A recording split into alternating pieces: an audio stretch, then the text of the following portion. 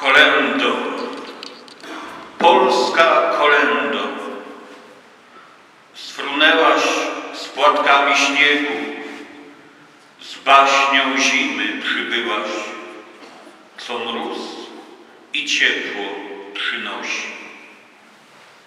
Kolendo, polska kolendo, odnajdujemy w Tobie tych lepszych nas, z oczami dzieci skrzącymi się jak choinka do prezentów w ten wigilijny wieczór.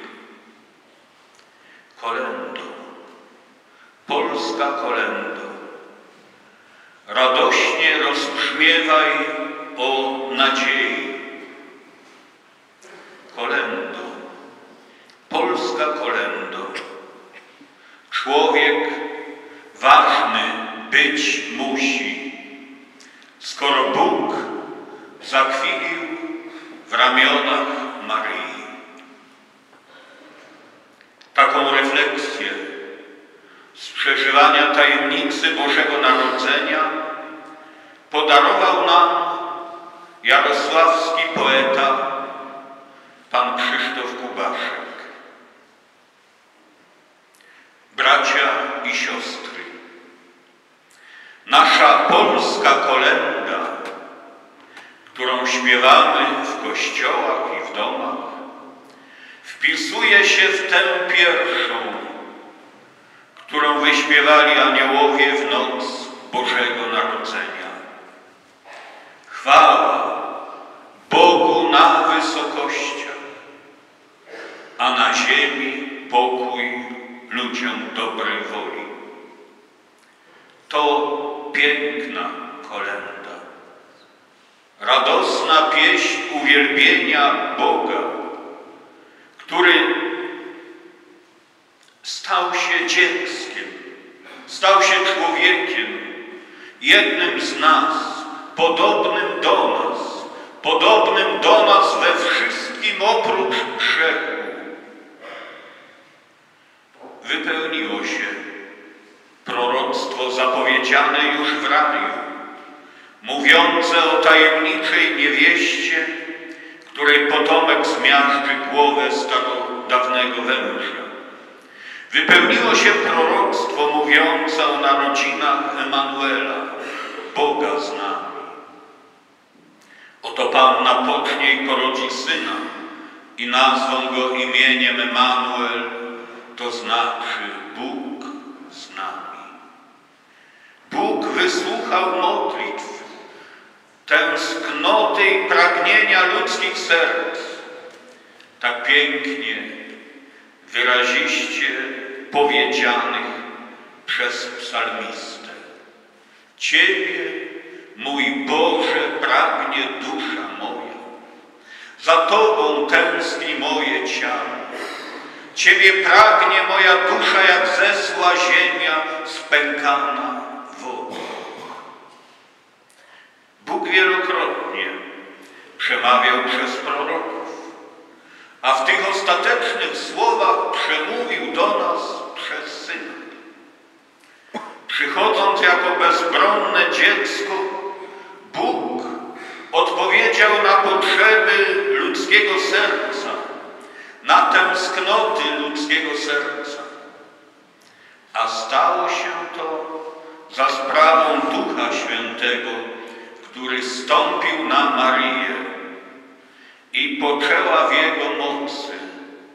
Jezus jest owocem, najpiękniejszym owocem działania Ducha Świętego w ludzkim sercu i w ludzkim życiu. Jezus narodził się z Marii za sprawą Ducha Świętego. Stąd, bracia i siostry, bożonarodzeniowa pieśń aniołów, kolenda, pieśń chwały, uwielbienia i dziękczynienia. Człowiek ważny być musi, skoro Bóg zakwilił w ramionach Maryi. Narodził się, aby być Emanuelem, aby być Bogiem z nami. I On rodzi się w naszych sercach dzięki działaniu i mocy Ducha Świętego. Narodził się w każdym z nas w chwili Chrztu Świętego, a później w czasie sakramentu pokuty narodził się podczas pierwszej komunii świętej i rodzi się podczas każdej przyjętej komunii świętej. Aż tak chce być Bogiem z nami, że przyszedł jako dziecko i przychodzi do nas pod postacią chleba konsekrowanego.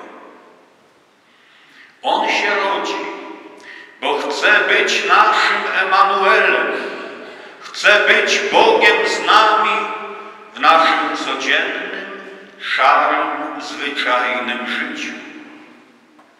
I to jest działanie Ducha Świętego. A gdy Jezus się narodzi w sercu, gdy doświadczamy tego działania Ducha Świętego, owocem Ducha jest miłość, radość, pokój, cierpliwość, uprzejmość, dobroć, wierność, łagodność, opanowanie. Mówi święty Paweł, przeciw takim cnotom nie ma prawa. I człowiek, który pozwala działać w swoim sercu Duchowi Świętemu, człowiek, w którym rodzi się Chrystus, umie kochać i przebaczać. Jest radosny, pełen pokoju, pogody ducha, cierpliwy i uprzejmy, dobry i wierny, wierny Bogu i ludziom.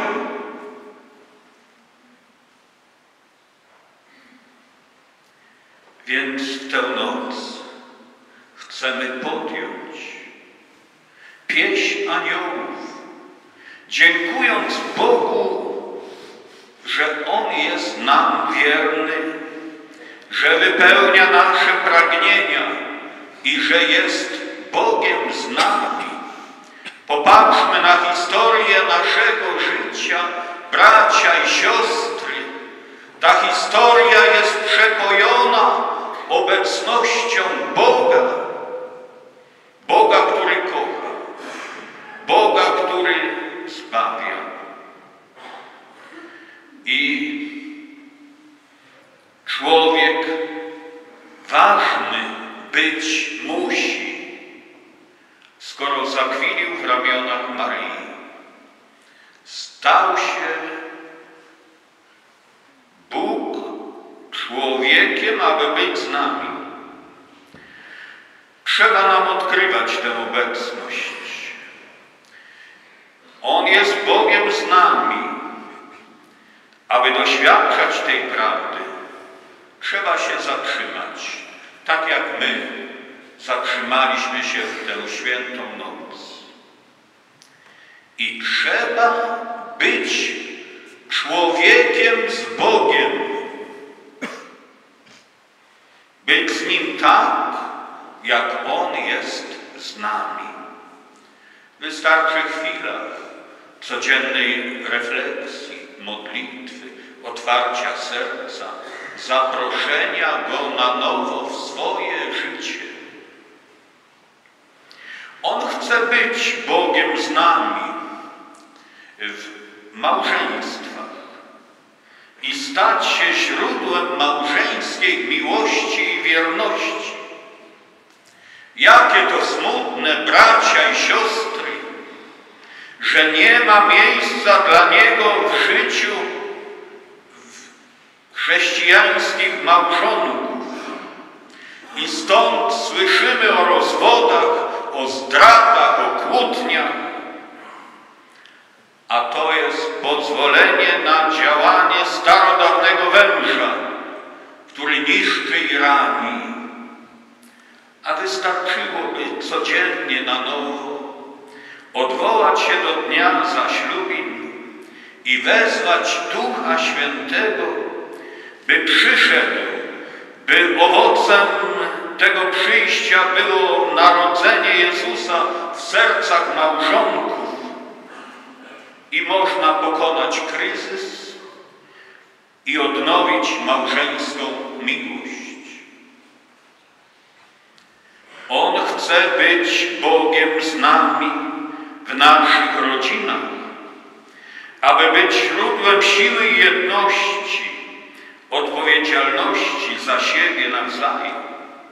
Jakie to smutne, że w wielu rodzinach nie ma miejsca dla Niego i brakuje zgody i tyle zagniewania, a przez to cierpi niejedno serce. Wystarczyłoby uświadomić sobie, że On stał się jednym z nas, aby być Bogiem z nami i wezwać Ducha Świętego. A Jezus się narodzi w sercu. Jezus, który uczy prawdziwej, ofiarnej miłości i życzliwości. On chce być Bogiem z nami w naszych codziennych trudnościach, przeciwnościach, kłopotach, chorobach i słabościach. Jakie to smutne, że nie ma miejsca dla Niego w niejednym sercu. I ludzie idą przez życie samotni, bez przyjaciela, co najwyżej szukają rozwiązania swoich problemów w różnego rodzaju używkach i różnej maści wróżbitach, pogrążając się coraz bardziej w ciemności. A wystarczyłoby zawołać stąd Duchu Święty. A owocem tego działania będzie nowe narodzenie Jezusa, tego, który rozwiązuje problemy wszystkich, małych dziewczynek i chłopców, dorosłych mężczyzn i kobiet. On chce być Bogiem z nami w naszym życiu społecznym, aby być fundamentem życia narodowego. Jakie to smutne, że nie ma miejsca dla Niego w naszym życiu ojczyźnianym i społecznym.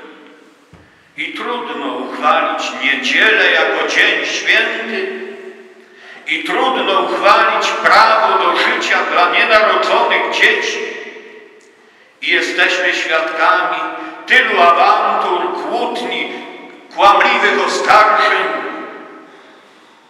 Trzeba, bracia i siostry, by stąpili aniołowie z nieba i zaśpiewali nad polskim niebem raz jeszcze tę kolędę. Chwała Bogu na wysokościach, a na ziemi pokój, a na polskiej ziemi pokój, pokój ludzkim sercom, naszym sercom. I trzeba nam z aniołami zaśpiewać głośno tę anielską i polską kolędę. Człowiek ważny być musi, skoro Bóg zakwilił w ramionach Maryi. Bracie, jesteś ważny w oczach Boga. Dla Ciebie stał się Emanuelem, Bogiem z nami. Siostro, jesteś ważna w oczach Boga. Dla Ciebie stał się Emanuelem, Bogiem z nami. Odkrywajmy tę prawdę. Radujmy się tą prawdą i żyjmy tą prawdą. W naszej polskiej tradycji jest taki piękny zwyczaj. Na pożegnanie, wychodząc z czyjegoś domu, gdzie doświadczyliśmy gościny, mówimy: Zostańcie z Bogiem. To piękne życzenie, w którym życzymy naszym bliźnim Boga. A jeśli Bóg z nami, któż przeciwko nam? Jakie unie przeciwko nam, jeśli Bóg z nami? Radujmy się w tę noc. Uwielbiajmy Boga, oddajmy Mu chwałę. Życzmy sobie i naszym sercom Boga. On jest naszym Emanuelem, Bogiem z nami. Obyśmy naszym codziennym życiu z Nim byli. Bracia i siostry, zostańcie z Bogiem.